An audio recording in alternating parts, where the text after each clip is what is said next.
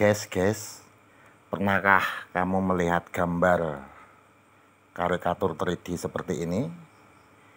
Ini gambar karikatur 3D yang wajahnya diganti dengan gambar wajah kita ya, yang dari foto.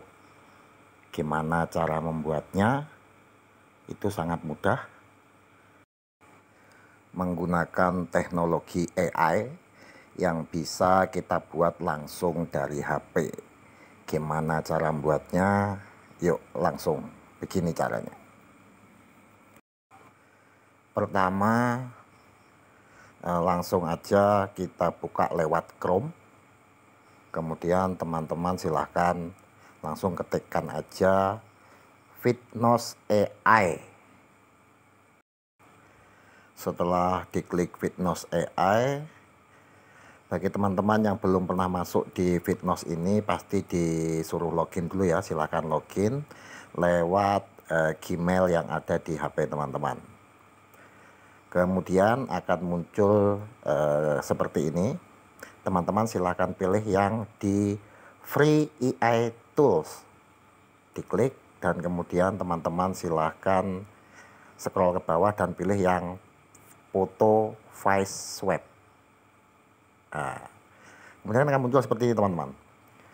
Jadi teman-teman tinggal yang nomor satu ini diisi dengan foto yang eh, foto karikatur ya yang akan kita isi wajah kita yang pertama.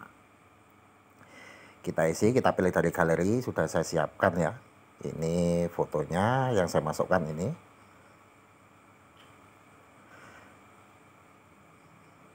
Kemudian untuk yang nomor dua ini kita isi foto kita yang akan uh, merubah foto karikatur.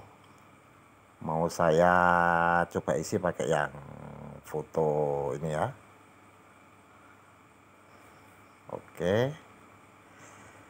Kita tunggu sampai terupload. Kemudian teman-teman silahkan klik yang nomor tiga yaitu swipe face no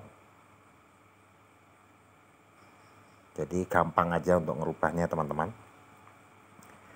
Dan kita bisa geser ke atas, kita lihat hasilnya. Kita buka. Dan langsung kita download saja teman-teman untuk menyimpan ke galeri ya. Kita lihat hasilnya. Jadi ini hasilnya ya. Ini foto karikatur yang sudah kita rubah wajahnya dengan foto kita sendiri.